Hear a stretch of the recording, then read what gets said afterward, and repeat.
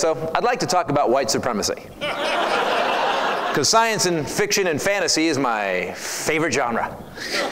There's no difference in any of us, except for the fact that some of us are too stupid to realize there's no difference in any of us. What happened to us, man? When did this rise up again?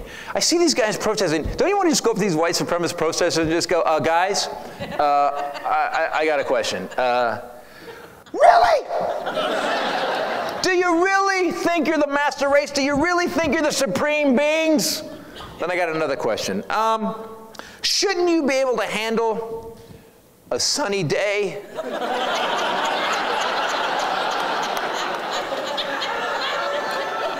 Because I believe a supreme being would take power from the thing that keeps everything on the planet alive instead of always having to wear a swim shirt.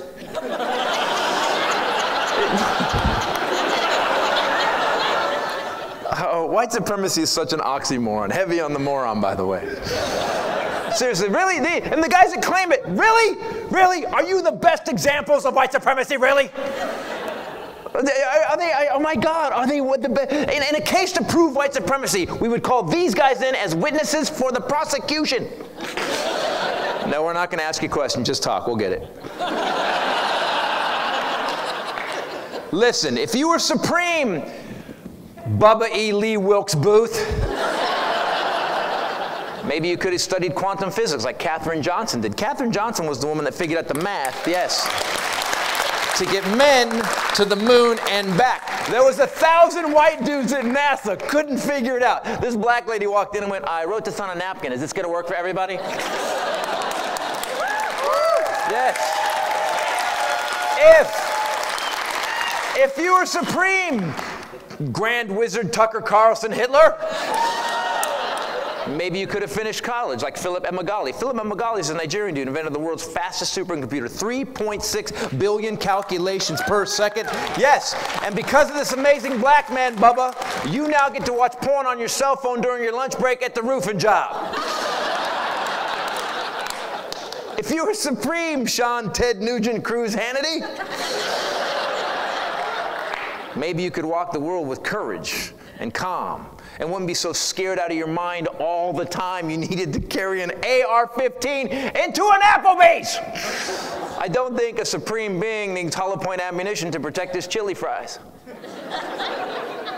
if you were supreme, Andrew Kyle Rittenhouse, Jim Jordan Jackson,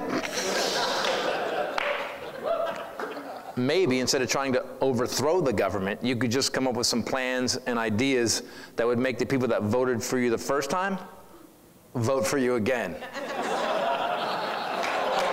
yeah, yeah. Yeah, it's weird, right? The GOP's got a problem right now. All right, guys, we need more minorities to vote for us, but we hate minorities. Ideas? If you were supreme, David Duke, James Woods, Mel Gibson,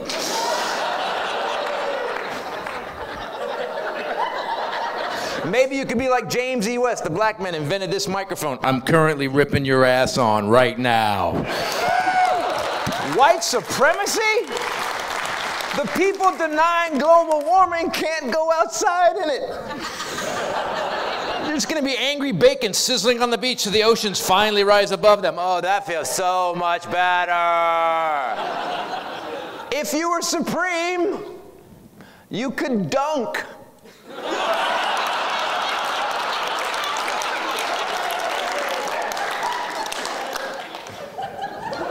If you were supreme, Brian Kemp, Brett Favre, Kramer, maybe you could live in a world that didn't threaten your sad belief that you were better than someone of another color. Let's go through history. Every race of people has done it as good as Whitey. Latinos, Asians, blacks, every single one has done it. I will say this Whitey did steal their ideas most of the time and make the most profit of it.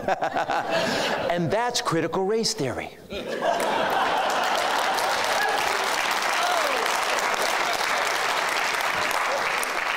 all those people who did it better than Whitey science, manufacturing, technology, music! they all did it while they were being oppressed by one of these hamburger eating, insurrection goatee having diabetic strokes waiting to happen. So, to all you white supremacists, I'm going to issue you an invite right now.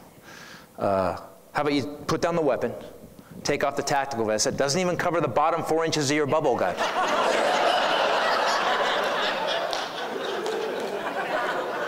Get an education, study some science, and then come join the rest of us here on the planet Earth. The planet, by the way, that's only 10% Caucasian. That's got to make your butt pucker. oh, yeah. Oh, I know. I know.